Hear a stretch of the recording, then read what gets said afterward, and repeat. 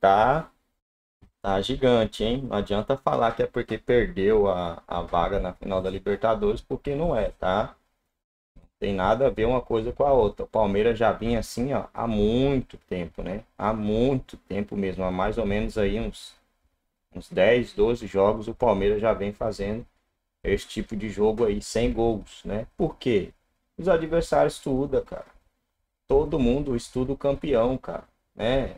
O, o, campeão ele é estudado, todo mundo vai jogar contra ele como nunca. Por isso que é muito difícil aqui no Brasil o mesmo time ganhar o mesmo campeonato duas vezes seguida. É muito difícil porque os outros já vão com o olho mais aberto para cima deles. E aí acaba esquecendo outros times que acabam desenvolvendo o futebol melhor e, e é campeão, que é o caso do Botafogo.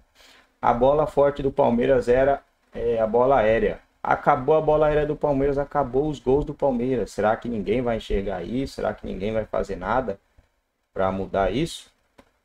E hoje, defensivamente, o Palmeiras foi amassado. É, é raro você chegar num jogo em que o Palmeiras sofre 10 finalizações no alvo, cara.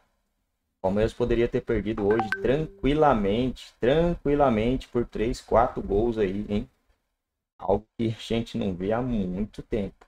É porque era o Santos. Se é um Flamengo, o Pedro tendo a chance que teve hoje os jogadores do Santos, o Arrascaeta, era 4-5, hein, galera? Tem algo estranho nesse time aí, precisa ser é, descoberto o mais rápido possível para a próxima temporada, porque essa aqui já foi, né? Palmeiras levantou dois troféus, mas vamos lá, né? Insignificante, né? Duas taças insignificantes pelo que almejava o time.